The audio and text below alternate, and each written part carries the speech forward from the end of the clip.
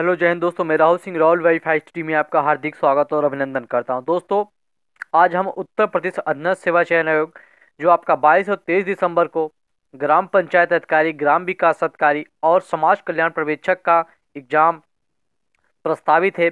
उसके संबंध में हिंदी पोर्शन, जैसा कि आप लोग जानते हैं कि आपके ग्राम पंचायत अधिकारी एग्ज़ाम में तीन पोर्शन से क्वेश्चन पूछे जाएँगे। टोटल डेढ़ सौ क्वेश्चन होंगे। हिंदी, तर्क शक्ति और आपका समान अध्ययन से क्वेश्चन पूछा जाएगा।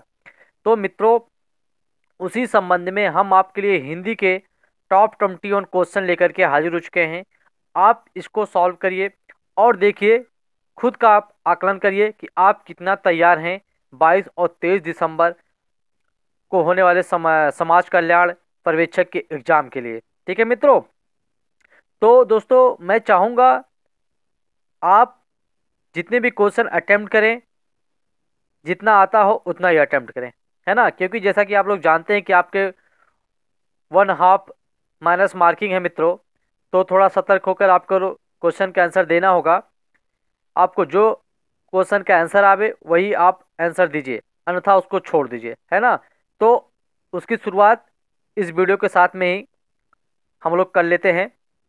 आपको जितने क्वेश्चन आए, उसको सॉल्व करिए। हाँ आपको लगे कि ये क्वेश्चन सही हो सकते हैं, और कमेंट बॉक्स में ज़रूर बताएँ कि हमने इतने अटैम्प्ट किए थे और हमारे इतने क्वेश्चन सही हुए हैं। ठीक है ना? तो आप अगर चाहें तो आप एक कॉपी पेन ले सकते हैं, अथवा माइंड में ही आप सॉल्व कर सकते हैं इसको और बता सकते हैं कि हाँ हमने इतने अटैम्प्ट किए और इतना हमारा सही है। तो मित्रों, उससे पहले हम चाहेंगे हमारे चैनल पर जो हमारे मित्रगण पहली बार आए हैं प्लीज़ हमारे चैनल को सब्सक्राइब कर लें तथा बगल में लगे बेल आइकान के बटन को दबा लीजिए ताकि आने वाली हर सूचना जो कि उत्तर प्रदेश अन्न सेवा चयन आयोग के संबंध में हो आप तक हम पहुँचा सके। और बेहतर से बेहतर सब्जेक्ट मटेरियल जो कि आपके आगामी आने आने वाले एग्ज़ाम के लिए बेहद दृष्टिकोण, आपके बेहद महत्वपूर्ण हो, वो क्वेश्चन भी हम आप तक पहुँचा सके। ठीक है मित्रों? अब सीधे सीधे हम बढ़ते हैं। बिना समय का नुकसान किए हुए अपने प्रैक्टिस सेट की तरफ़ क्वेश्चन की तरफ़। तो मित्रों, देख सकते हैं आपके स्क्रीन पे पहला क्वेश्चन है। जी हाँ हल्दी का तत्सम रूप है। आपके पास चार ऑप्शन है। ए, हरिद्रा, बी, हल्द सी हरिद्र डी हल्दा क्या हो सकता है मित्रों इसमें? सोचिए और मैं सॉल्व करिए। चलिए, हो गया। देखते हैं मित्रों, हल्दी का जो तत्सम रूप है मित्रों, इसमें ऑप्शन नंबर ए हरिद्रा। ठीक है ना? हरिद्रा जो है, हल्दी का तत्सम रूप है। अब बढ़ते हैं इसी श्रेणी में अगले क्वेश्चन की तरफ़ हम लोग। निम्नलिखित में तत्सम शब्द कौन सा है? ठीक है ना? आपके पास चार ऑप्शन ए पीठ बी भाप सी दिवस डी झिलमिल। क्या हो सकता है मित्रों? सोचिए। सॉल्व करिए इसको। जी हाँ ऑप्शन नंबर सी, दिवस। तत्सम शब्द है। बाकी तीन शब्द जो है आपके, वो तत्सम है। ठीक है ना? तत्भव है। अब बढ़ते हैं हम अगले क्वेश्चन की तरफ़। क्वेश्चन नंबर तीन। पंकज शब्द है। क्या है? ऑप्शन आपके पास चार अवेलेबल हैं। ए, रूढ़, बी योग रूढ़ सी, यौगिक, डी, शंकर। क्या हो सकते हैं मित्रों? सॉल्व करिए इसको। जी हाँ ऑप्शन नंबर बी, योग रूढ़ शब्द है। पंकज एक, योग रूढ़ शब्द है। अगर दोनों को अलग अलग कर दिया जाए तो इसका, दोनों का इसमें से कोई किसी प्रकार का अर्थ नहीं निकलेगा। अब बढ़ते हैं अगले क्वेश्चन की तरफ़। क्वेश्चन नंबर चार, आपके समक्ष। निम्नलिखित में तत्भव शब्द है। आपके पास चार ऑप्शन है। देख सकते हैं स्क्रीन पे। ए, गोत्र, बी, खर्राटा, सी, अरुण, डी, तेल। तो क्या हो सकता है मित्रों इसमें? सोचिए। जी हाँ ऑप्शन नंबर डी तेल, तत्भव शब्द है। बाकी सब क्या है? तत्सम शब्द हैं। ठीक है ना? अब बढ़ते हैं अगले क्वेश्चन की तरफ़। क्वेश्चन नंबर पाँच आपके लिए है। गमला जो शब्द है, ये क्या है? आपके पास चार ऑप्शन है। विदेशी शब्द है। ऑप्शन नंबर बी तत्सम है। ऑप्शन नंबर सी तत्भव है। Option number D Shankar. क्या है मित्रों? सोचिए, बताइए। ठीक है ना? इसका जो है ऑप्शन नंबर ए होगा विदेशी। गमला जो शब्द है, एक विदेशी शब्द है। ठीक है? अब बढ़ते हैं हम अगले क्वेश्चन की तरफ़। क्वेश्चन नंबर छः आपके समक्ष है। निम्नलिखित में संकर शब्द कौन सा है? देख सकते हैं आप। ए, सचिवालय, बी, छेड़छाड़, सी टिकट घर डी, खीर। तो क्या हो सकता है? सोचिए। ठीक है मित्रों, ऑप्शन नंबर सी टिकट घर। टिकट घर जो है संकर शब्द अच्छा संकर शब्द आप लोग जानते होंगे मित्रों जैसे, लेकिन मैं थोड़ा आपको बताता हूँ। जो दो भाषाओं के शब्द हों, टिकट जैसा देख सकते हैं आप, ये अंग्रेज़ी शब्द है और घर क्या है? हिंदी शब्द है। तीन दोनों को मिल करके जो है, दो भाषाओं के शब्द हैं ये, जिन्हें हम संकर शब्द कहते हैं, ठीक है ना? तो ऑप्शन नंबर सी आपका टिकट घर जो होगा संकर शब्द है। अगला क्वेश्चन है आपके लिए, क्वेश्चन नंबर सात, देख सकते हैं, अंग्रेज़ किस भाषा का शब्द है? आपके पास चार ऑप्शन है, ए अरबी, बी फारसी, सी पुर्तगाली, डी फ्रेंच। तो क्या हो सकता है मित्रों? सोचिए इसको। Option number D, French. ठीक है ना? अंग्रेज़ जो शब्द है, ये फ्रेंच भाषा से लिया गया है। ठीक है ना? अब बढ़ते हैं अगले क्वेश्चन की तरफ़। क्वेश्चन नंबर आठ आ गया आपके लिए। ये जी हाँ फिल इन द ब्लैंक से संबंधित क्वेश्चन है आपके लिए मित्रों, देख सकते हैं आप। क्वेश्चन नंबर आठ है आपके लिए। देख सकते हैं रिक्त स्थानों के लिए उपयुक्त विकल्प का चयन कीजिए। आपके पिता, सोचिएगा मित्रों और अच्छी तरीके से आप आंसर दीजिए। आपके पिता के निधन का समाचार सुनकर हुआ तो जो फिल इन द ब्लैंक्स है, उसको आपको जो फिल करना है ब्लैंक में क्या भरा जाएगा आपके पास? चार ऑप्शन है मित्रों, देख सकते हैं। ऑप्शन नंबर ए खेद। ऑप्शन नंबर बी दुख। ऑप्शन नंबर सी क्षोभ। ऑप्शन नंबर डी क्लेश। तो क्या हो सकता है? सोचिए जरा। ठीक है ना? तो इसमें क्या हो सकता है? ऑप्शन नंबर बी, दुख। ठीक है ना? आपके पिता के निधन का समाचार सुनकर दुख हुआ। ठीक है ना? अब बढ़ते हैं अगले क्वेश्चन की तरफ़। तुलसी का सेवन स्वास्थ्य के लिए है। ब्लैंक। ठीक है ना? तुलसी का सेवन स्वास्थ्य के लिए ब्लैंक है। चार ऑप्शन है आपके पास। ए, लाभदायक। बी, उपयोगी, सी, हितकारी, डी, गुणवान। तो क्या हो सकता है मित्रों इसमें? सोचिए। ना? ऑप्शन नंबर ए, लाभदायक। तुलसी का सेवन स्वास्थ्य के लिए क्या है? लाभदायक है। चलिए, इसी श्रेणी में बढ़ते हैं अगले क्वेश्चन की तरफ़। क्वेश्चन नंबर दस आपके समझ आ गया स्क्रीन पे। देख सकते हैं आप। ब्लैंक मनुष्य की स्वाभाविक प्रवृत्ति है। आपके पास चार ऑप्शन ए, सौंदर्य बी, शोक, सी, चंचलता, डी कर्मठता सोचिए और बताइए। ठीक है ना? तो इसमें होगा आपका ऑप्शन नंबर सी चंचलता। ठीक है ना? दस का ऑप्शन नंबर सी चंचलता। चंचलता मनुष्य की स्वाभाविक प्रवृत्ति है। ग्रामर नंबर क्वेश्चन आ गया आपके स्क्रीन पे, मित्रों, देख सकते हैं आप। हमें अपने देश पर ब्लैंक है। चार ऑप्शन आपके समझ ए, मान, बी, घमंड, सी, अहंकार, डी, गर्व। तो क्या हो सकता है मित्रों? सोचिए। तो 11 का ऑप्शन नंबर डी, गर्व। हमें अपने देश पर गर्व है। अब बढ़ते हैं अगले क्वेश्चन की तरफ़। तो देख सकते हैं, बारह नंबर क्वेश्चन। महान व्यक्तियों की उपलब्धियों में नारी क्या ब्लैंक का योग अवश्य होता है। तो आपके पास चार ऑप्शन हैं। ए, वेदना, बी प्रेरणा सी, प्रोत्साहन, डी, सहायता। तीन चार में से कौन सा सबसे उपयुक्त होगा इस ब्लैंक में भरने से कि ये जो पूरा पूरा लाइन है, वाक्य है, सबसे सुटेबल कौन सा ऑप्शन हो सकता है? सोचिए। बारह का इसमें से जो होगा ऑप्शन नंबर बी प्रेरणा महान व्यक्तियों की उपलब्धियों में नारी की प्रेरणा का योग अवश्य होता है। सबसे उचित आपका ऑप्शन नंबर बी प्रेरणा। अब बढ़ते हैं क्वेश्चन नंबर तेरह की तरफ़। सॉरी जी हाँ। वन वर्ड सब्सटीट्यूशन से क्वेश्चन आपके समझ हो गया, आ गया। जी हाँ क्वेश्चन नंबर तेरह सॉरी जिसकी पत्नी मर गई हो, उस पुरुष को क्या कहते हैं? आपके पास चार ऑप्शन हैं। ए विधुर बी पुश्चल सी सौभाग्य विहीन डी विधवा। तो आपके पास चार ऑप्शन है, सोचिए। तो आपका ऑप्शन नंबर ए विधुर होगा। जिसकी पत्नी मर गई हो, उस पुरुष को हम लोग विधुर के नाम से जानते हैं। ठीक है ना? चलिए, इसी श्रेणी में बढ़ते हैं क्वेश्चन नंबर चौदह की तरफ़ हम लोग अब। दे सकते हैं आप। जो प्रमाण से सिद्ध ना किया जा सके। आपके पास चार ऑप्शन हैं। ए, जनश्रुति, बी किदंती सी, अप्रमेय, डी, अप्रमाणिक। क्या हो सकता है? सोचिए। चार ऑप्शन आपके समझ हैं। तो मित्रों, इसमें जो आपका हो सकता है, ऑप्शन नंबर सी, अप्रमेय। ठीक है ना? जो प्रमाण से सिद्ध ना किया जा सके, उसे हम एक शब्द में बोलते हैं, अप्रमेय। चलिए बढ़ते अगले क्वेश्चन की तरफ़। क्वेश्चन नंबर पंद्रह आपके समक्ष अधिक बोलने वाला होता है। आपके पास चार ऑप्शन है। ए, गप्पी, बी कटुभाषी सी, मितभाषी, डी, वचाल। क्या हो सकता है मित्रों?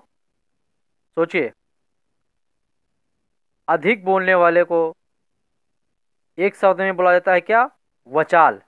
ऑप्शन नंबर डी, वचाल। पंद्रह का ऑप्शन नंबर डी, वचाल। अधिक बोलने वाले को हम एक में बोलते हैं क्या? वचाल। चलिए, बढ़ते हैं अगले क्वेश्चन क्वेश्चन की तरफ़।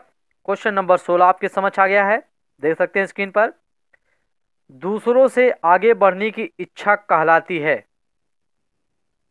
आपके पास चार ऑप्शन अवेलेबल हैं। ए, ईर्ष्या। बी, प्रतिस्पर्धा। सी, द्वेष। डी, प्रतियोगिता। क्या हो सकता है मित्रों? सोचिए। Option number B. ठीक है ना? प्रतिस्पर्धा दूसरों से आगे बढ़ने की इच्छा प्रतिस्पर्धा कहलाती है। सोलह का ऑप्शन नंबर बी, प्रतिस्पर्धा।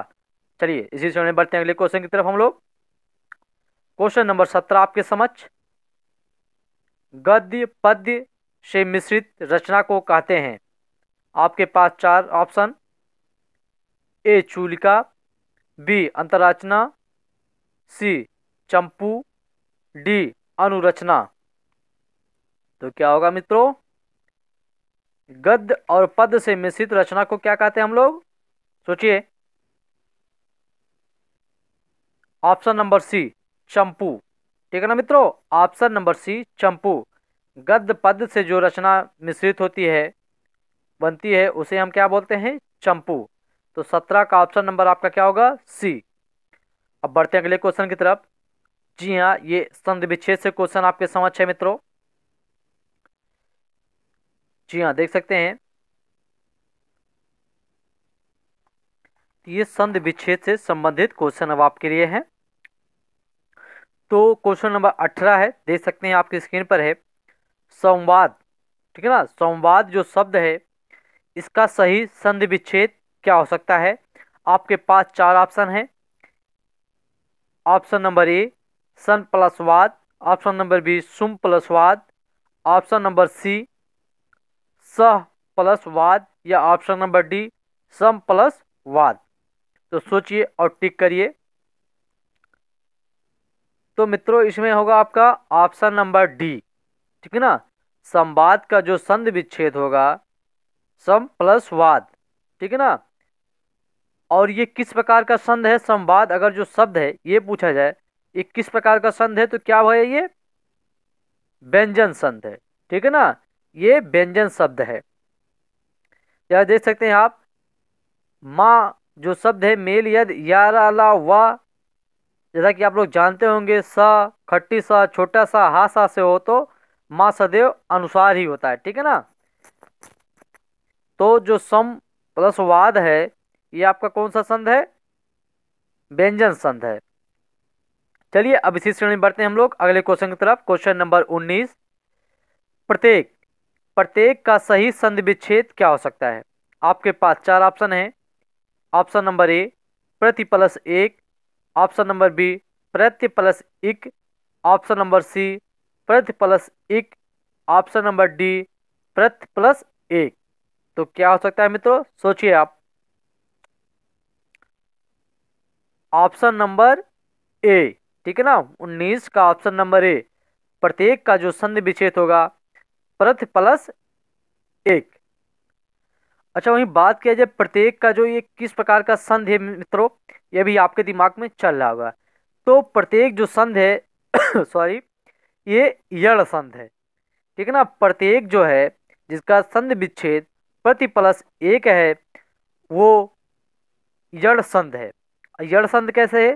जैसा कि आप लोग जानते होंगे मित्रों, जहाँ पर ई प्लस ठीक है ना? ई प्लस ए आए, वहाँ पर क्या होता है? यड़ संध होता है। जहाँ पे छोटी बड़ी के साथ में क्या आ जाए? आ आए, ऊ आए, बड़ा आए, बड़ा ऊ आए ए आए, आ आए, ए आए। तो इन सब शब्दों से जो मिलकर बनते हैं, उन्हें हम क्या कहते हैं? यड़ संध ई के साथ में और ऊ के साथ में। ठीक है ना? तो प्रत्येक जो है आपका ये यड़ संध है। अब बढ़ते हैं हम अगले क्वेश्चन की तरफ़। क्वेश्चन नंबर बीस, आपके समझ? पवन। पवन का संध विच्छेद करिए। आपके पास चार ऑप्शन है। ऑप्शन नंबर ए प प्लस अन। ऑप्शन नंबर बी प प्लस नौ। ऑप्शन नंबर सी पो प्लस अन। ऑप्शन नंबर डी प प्लस अवन। तो क्या हो सकता है मित्रों? सोचिए आप। Option number C. ठीक है ना? पवन का जो संध विच्छेद होगा, ऑप्शन नंबर सी, पो प्लस अन। बराबर क्या होता है? पवन। अच्छा ये भी दिमाग में चलोगे किस प्रकार की संधि है। तो जो पवन है शब्द दोस्तों, ये शब्द आपका अयाद संध है। ठीक है ना?